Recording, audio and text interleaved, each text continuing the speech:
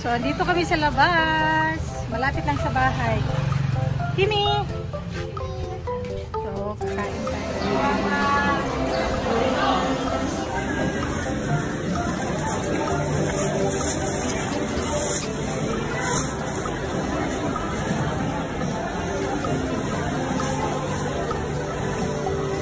Mama, kailangan mo ma'am no?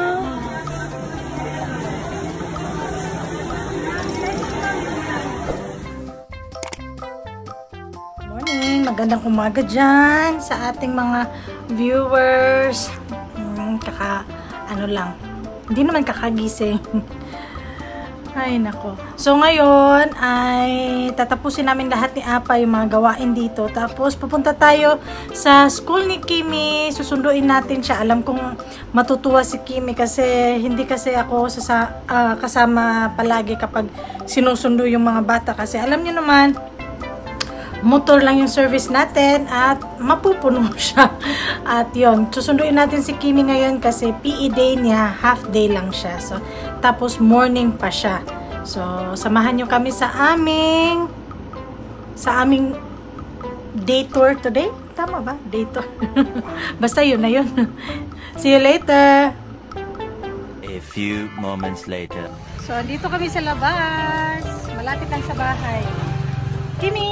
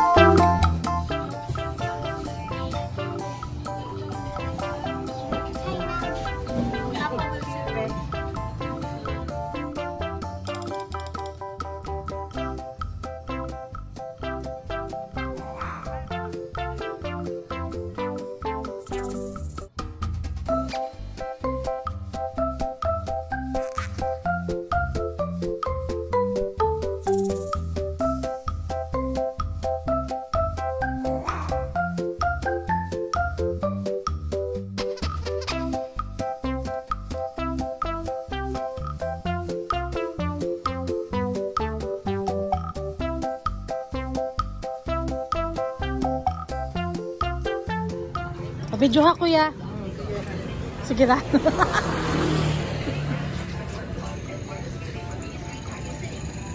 A few moments later. Hello, hello, hello. At nabalitaan ko sa kaibigan ko na mura daw ang isda ngayon. Kaya nagmamadali kami ni Apa makapunta dito sa palengke. At totoo naman talaga na sobrang mura. Ang daming murang isda. Yan, may mga pusit. 100 to 110 na lang yung kilo niyan. Yan. At yan, almost 400 ngayon ay 290 na lang yan. At may tuna pa. Sobrang laki ng tuna. Pero ang tuna, ganun pa rin yung presyo niya. Medyo mahal pa din siya. Pero may mga mura naman.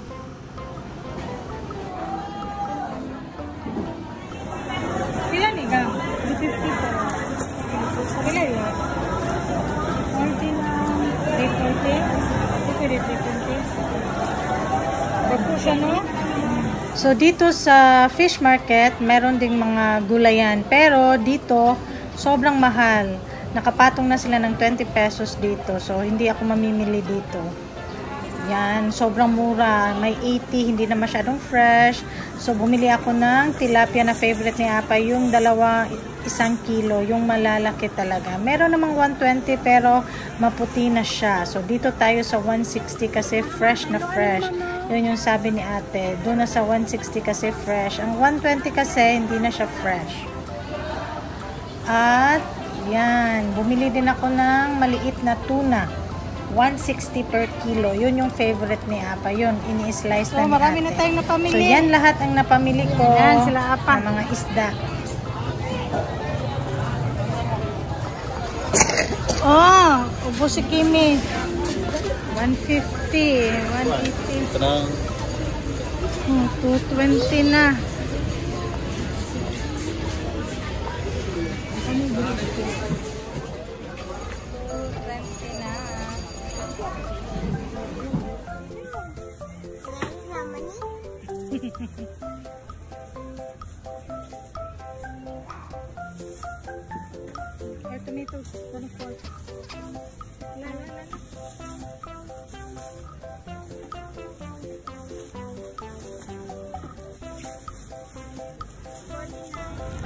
Nakabili na tayo ng ibang gulay at dito ako sa may talipapa bumili kasi sobrang mura talaga dito. Ang layo ng presyo sa nakatindahan talaga. Kaysa dito sa talipapa at saka nakakatulong tayo sa mga ano natin, yung farmers kasi dito, oh yan. 10 piso lang yan, sobrang dami na. A few moments later. So, andito na. Ang dami nating napamili. Thank you, Lord. Ito ay puro gulay. So, okay lang to dito. At saka, yan naman ay puro na isda. Maglinis muna tayo. Maglinis-linis muna tayo. Diyan lang muna mga gulay. Dami na rin tayong bakanting Tupperware. So, malalagyan natin na Linis muna tayo. So, imamarinate natin ngayon. Nilagyan ko na yan ng bawang. Bawang baon yun, bawang. So, lalagyan natin ng kalamansi. Ayan, natapos ko na yan.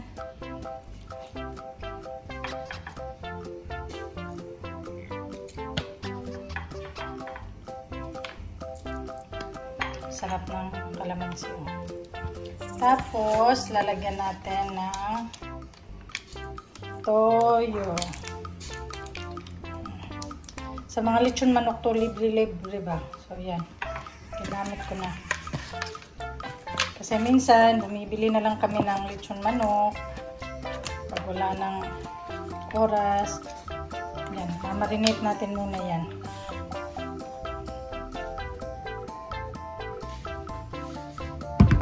So, naluto na yung chicken skin natin. Try, Kimi. Gusto gusto ni Kimi yan. This one is not that hot. Still hot? Oh, this one, this one. Just blow, okay?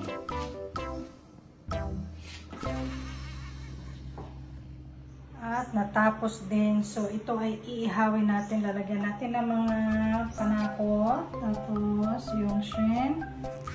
Yung, tawag nito, squid. Pagod na ako. Tapos, yung minarinate. Ito, binili ko noong isang araw. Tapos, yung isda. Yan. Madami siya. Pagod na ako. Tignan niyo yung buhok ko. Pagod na. Ay, tapusin ko lang to lahat. Yan. Tapusin ko lang. Lapit na tayo matapos. Almost there. Wait. So, yan. Puno na lahat ng mga tupperwares natin. Ready na siya. So, naglilinis kami ni Kimi. Yung vegetable crisper natin, puno din siya ng mga gulay, yung mga pinamili natin. Yan, hindi ko tinanggal para hindi siya madaling masira kasi yung ano natin. Ngayon, 220 na yung sibuyas per kilo. Sobrang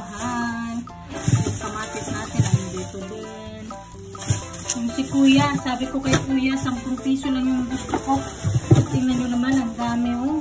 Yung okra. Favorite ko kasi okra. So, yan. Niya, apa ayaw niya. Tawag niya dito, lady finger. Yan. So, thank you. So, ready tayo. Mag-ihaw tayo ng konti. Ilang piraso lang to at saka talong at saka isda. Ayan, ready na.